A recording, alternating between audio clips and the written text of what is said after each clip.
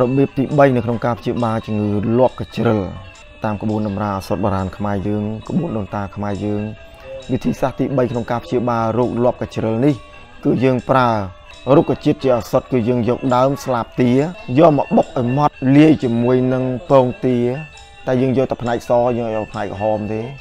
លាយជាមួយនឹងទឹកដូងភ្លើងយកទាំងទឹកទាំងសាច់ហើយឲ្យអ្នកជំងឺនឹងហូបទៅនឹងបានជាប្រកាសស័ក្តិសិទ្ធិណាស់